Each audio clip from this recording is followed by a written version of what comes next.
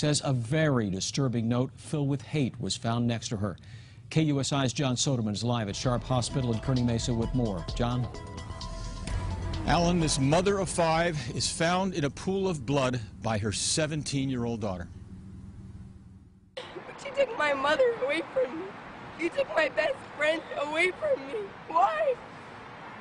Why did you do it? That's all I want to know. Answer me that. 17-year-old Fatima Al-Hamidi begs for answers, pleading to know why someone nearly beats her mother to death. Hit repeatedly in the head, she says, with a tire iron. Her 32-year-old mother, Shaima Alawadi, is not expected to survive the vicious attack which happens Wednesday in this quiet El Cajon neighborhood off of Chase Avenue. At 11:15 in the morning, the teen walks into the family's Skyview Street home to find two things: evidence of some kind of break-in in the rear of the home and her mother in a pool of blood on the dining room floor.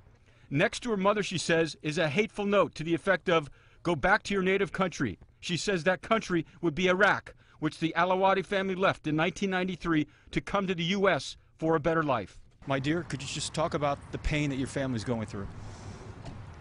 I mean, we're speechless, you know? She's such an innocent woman. I mean, I just, why? Why did you do that? She's a housewife. She's innocent. She hasn't hurt anybody. You know, she's a mother of five. Why did you do it? I mean, I found her on the floor, drowned in her own blood, oh, with a letter next to her head saying, Go back to your country, you terrorist. We're not the terrorist. You are. Whoever did it. We don't know what color you are, but we do know one thing. You are not Christian, you're not Muslim, and you're not Jewish. You're someone without a religion. Because if you know God, you would know God would not accept that. You're an animal, whoever you are. You're not even an animal. I'm so sorry, my dear. Thank you so much. Shaima Alawadi is here at Sharp Hospital in Kearny Mesa.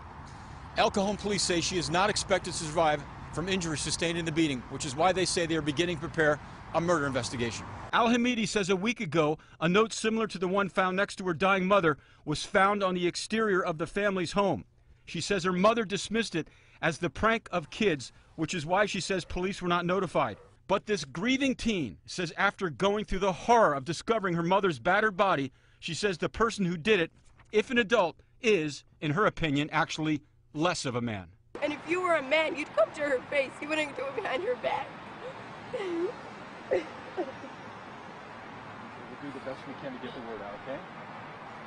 Okay, I'm so sorry. And tonight, El Cajon police are calling this an isolated incident in Kearny Mesa. John Soderman, KUSI News. John, have El Cajon police said anything about this being a hate crime? No, but it's important to note that uh, earlier today, in their first uh, press release, they didn't mention anything about this note. However, uh, at 6:30 tonight, they uh, reviewed, or rather, they uh, put out another press release saying that they